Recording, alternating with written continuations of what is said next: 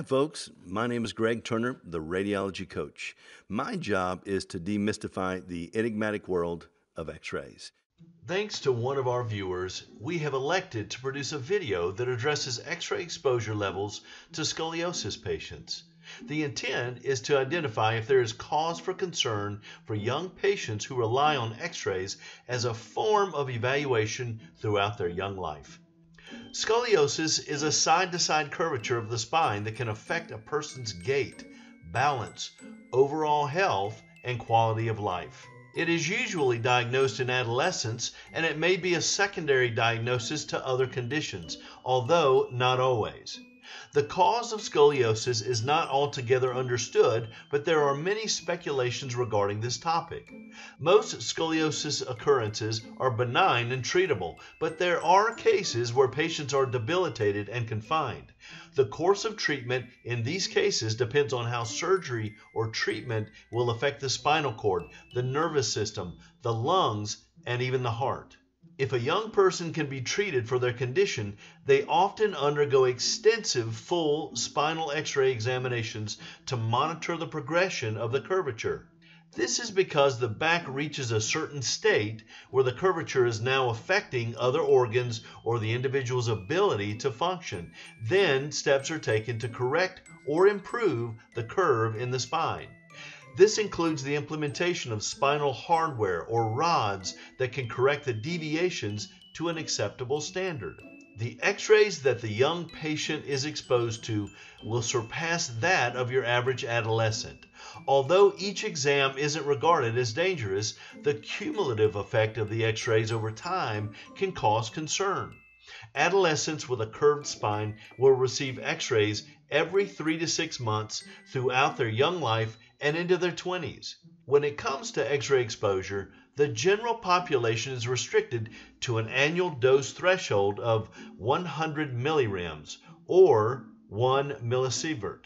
In a 2015 research study, it was determined that your average scoliosis patient receives around 15 millisieverts annually from their x rays.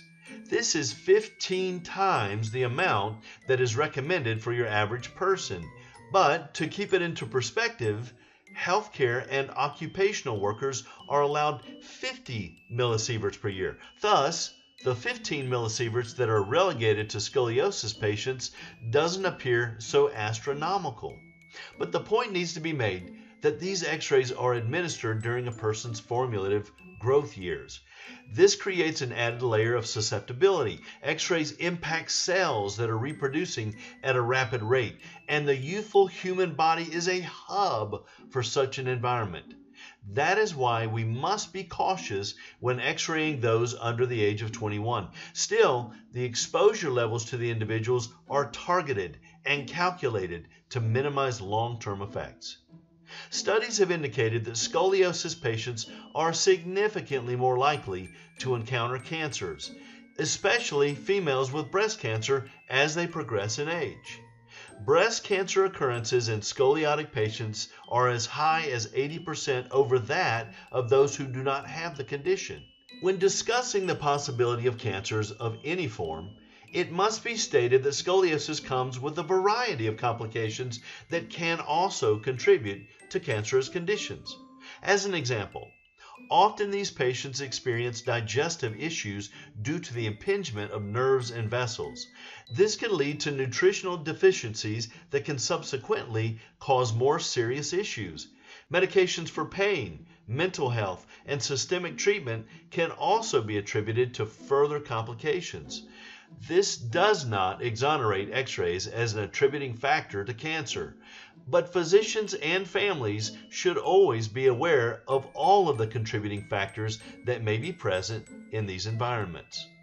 Because research studies do indicate a link between x rays and cancerous conditions within this population, it must be taken seriously.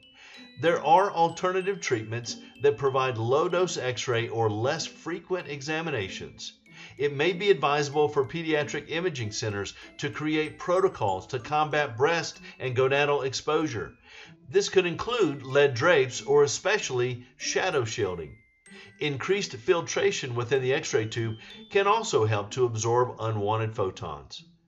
X rays of these special patients are a necessary step to prevent the condition from quickly getting worse and impacting their lives in a very deleterious fashion.